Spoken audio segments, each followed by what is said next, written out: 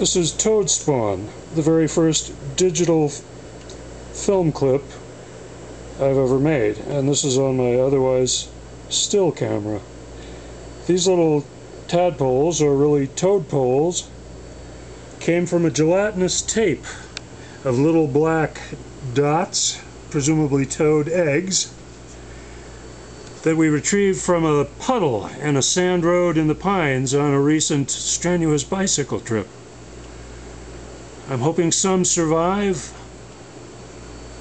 to eat bugs. Maybe they eat mosquitoes. I hope they'll eat mosquitoes in my backyard. Uh, if they all survive, maybe we can send a plague to the Pharaoh or choose someone else. Yeah, th- these little guys are on a diet right now of goldfish flakes. They seem to like it a lot.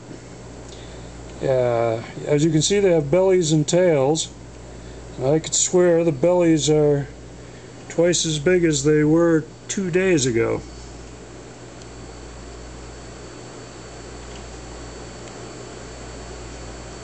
Wish them luck.